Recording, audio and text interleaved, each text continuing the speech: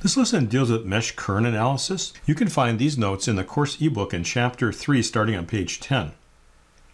Using a method called mesh currents instead of element currents, we can reduce the number of equations we have to solve simultaneously. Now, mesh current analysis is restricted to what's called a planar circuit. This is a circuit that can be drawn on a flat surface where no wires cross over. They tend to look like window panes. We're going to assign in each of these little window panes a clockwise direction current. And then knowing those currents, we'll be able to find any other current and voltage in the circuit. Let me illustrate this on an example. Here I've got 10 elements, drawn them in such a way that no wires cross over, and it's simply a flat image. The currents that are flowing in what we call these window panes are going to be called our mesh currents. They also look like the meshes in a volleyball net.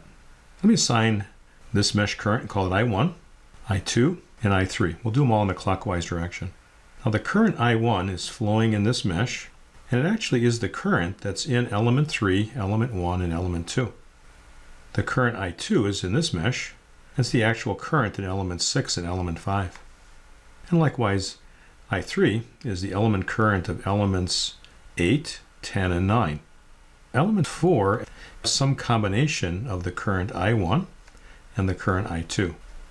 Likewise, element 7 has something related to I2 and I3. Let's see if we can solve for those. Let me state the mesh current inspection property. If the kth two terminal element is contained in meshes x and y, then the element current can be expressed in terms of the two mesh currents x and y with the following relationship. It's the difference of I sub x and I sub y, where I sub x is the mesh whose reference direction agrees with the reference direction of I sub k. Let me show you a picture to better illustrate this. So here's a mesh current I sub x, here's the mesh current I sub y, and the current in this element, as I've picked it in this direction, agrees with the direction of I sub x, but disagrees with the direction of I sub y. And that's how we're going to find the current in individual elements that are between meshes. Now why is this true? Well, in this example, I sub x is the current in the element up here, and the current I sub y is the current in this element up here. So doing Kirchhoff's current law at this node, I sub x enters, and I sub k and I sub y leave. So it's a sum of those two. Whatever enters leaves the node. Now let's just solve for the current I sub k. Bring the I sub y on this side of the equation, and I'm left then that I sub k is equal to I sub x minus I sub y. Another way to remember this is that when the current agrees with the direction of the mesh current, we're going to add, and when it disagrees, we're going to subtract. We are going to pick all our currents in the same direction, uh, basically all clockwise. Let's do an example. Suppose that I have these three meshes, I sub A, I sub B, and I sub C, and suppose that I'm able to measure their values, and that I sub A is 10 amps, I sub B is 5 amps, and I sub C is a minus 3 amps. Now let me arbitrarily assign a current in each element element 1, element 2, element 3, element 4, element 5, and element 6. If we were to pick the current in the other direction, whatever answer we get from our first selection would just be the opposite sign. So it's not really right or wrong, just can pick a direction, just stick with it once you pick it. Let's solve for these six currents. Now let's start with I1. So I1 is going in this direction, and here's the mesh current I sub A. It's actually going in the opposite direction value of I1 is a negative 10 amps.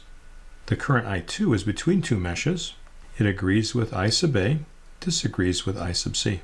We're going to add I sub A and subtract I sub C.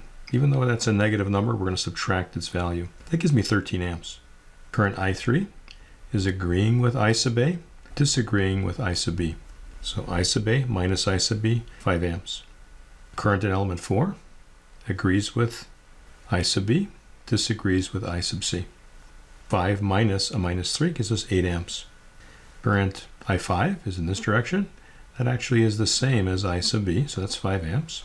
Then lastly, current 6, just flowing in this individual element, and that just agrees with I sub C. And the value of I6 is equal to minus 3 amps. Now just like the node voltages, we can talk about the minimum number of unknowns. So in this example, if I knew the three mesh currents, I sub A, I sub B, and I sub C, I could find the currents in six elements. Don't need to write six equations, just need to have three equations and three unknowns to solve for that. In an n-mesh circuit, there are n meshes. So this last example, if we knew the three mesh currents, we could find the current in the individual elements. They were either the same current, the opposite sign, or a difference of two.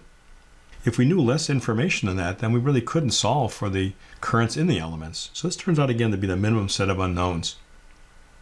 And this is mesh current analysis.